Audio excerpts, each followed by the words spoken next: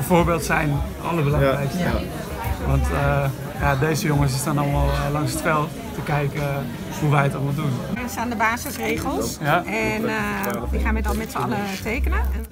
Ik heb mijn handtekening gezet onder een contract voor sportief gedrag. Ehm, alle aanvoerders komen vandaag bijeen om daar een handtekening onder te zetten. Eh, en ik denk dat dat eh, als eerste zijn eh, ontzettend belangrijk is. Eh, zeker als, als voorbeeld voor, eh, voor de jeugd. En stel dat je een beetje een overtreding maakt, wat kan je dan doen naar de tegenstander? Heel goed. Of je zegt eh, misschien. eh,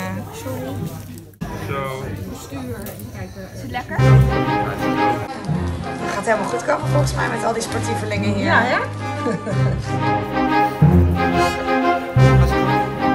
Super.